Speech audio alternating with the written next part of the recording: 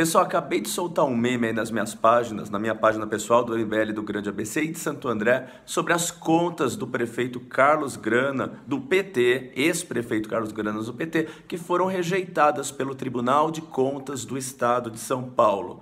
Enfim, em 2014, o Grana teve aí uma reprovação pelo Tribunal Técnico porque gastou abaixo do que deveria com as verbas de educação. Isso foi considerado um ato falho. Então, o TCE, que é o tribunal responsável por conferir as contas do prefeito, carimbou lá, reprovado. Em 2016, a alegação do tribunal foi que ele gastou muito mais do que devia, deixou um déficit é, na, nas contas do ano de 2016. Então foi mais um carimbo lá de reprovado.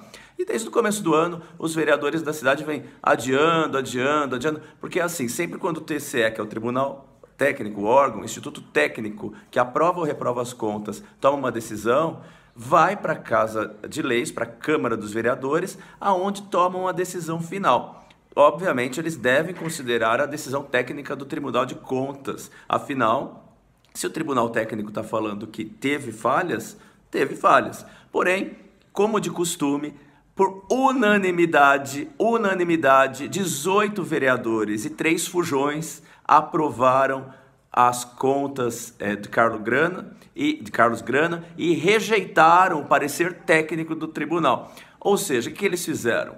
Um grande é, uma ignorância, assim, vamos ignorar esse, esse parecer técnico e vamos salvar o nosso companheiro. Por que salvar? Porque se eles tivessem seguido a orientação do tribunal, o Carlos Grana se estaria inelegível. Ele perderia, através da lei da ficha, da ficha limpa, os seus direitos políticos. Agora, o que, que fizeram aí?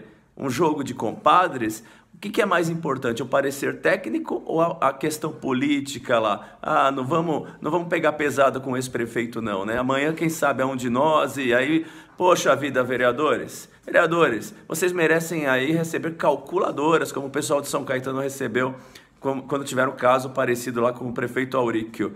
Poxa vida, desrespeitar um parecer técnico.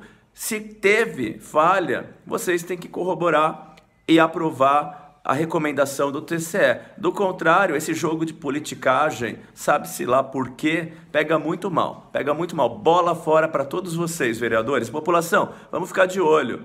Eles não tiraram o ex-prefeito que teve as suas contas rejeitadas aí das próximas eleições, mas com certeza a gente vai retirar esses maus políticos na próxima eleição. Pronto. Ficou muito, mais ou menos? Ficou muito grande? Ficou mais ou menos, mas tá bom. Eu não. É alguma coisa.